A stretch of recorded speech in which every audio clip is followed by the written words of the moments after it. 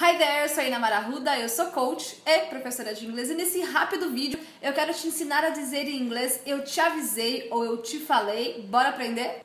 Eu vou te ensinar duas maneiras de dizer isso e a primeira é I told you so, que significa eu te disse, eu te avisei e funciona como se fosse uma repreensão. Vamos ver exemplos. I really hate to say it, but I told you so. Eu realmente odeio dizer isso, mas eu te avisei. I knew he wasn't a good guy, I told you so. Eu sabia que ele não era um cara bacana, eu te avisei. A segunda maneira de dizer eu te avisei funciona como se fosse um alerta. Vamos ver exemplo. I warned you not to leave. That place is too dangerous. Eu te avisei para não partir, aquele lugar é muito perigoso.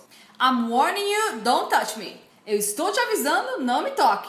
Esses exemplos aqui embaixo e mais um monte de exemplo lá no blog. E aí, já sabia dessa? Conta aqui pra mim nos comentários, compartilhe com seus amigos, se inscreva no canal e não se esqueça de curtir esse vídeo.